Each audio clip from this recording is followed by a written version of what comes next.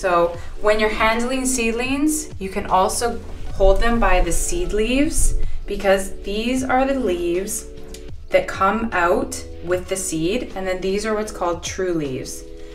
These, you see the difference between the two leaves? Yeah. These are what tomato leaves look like. Most seed leaves Uh huh. look like that. If you ever have to like lift your seedling, Okay. you can lift them by the seed leaves because if they were to rip off, they're going to drop off naturally anyways. It's only a matter of Oh, time. Okay. So you can Ah! see it's actually way That stronger. makes me anxious. Stop doing that.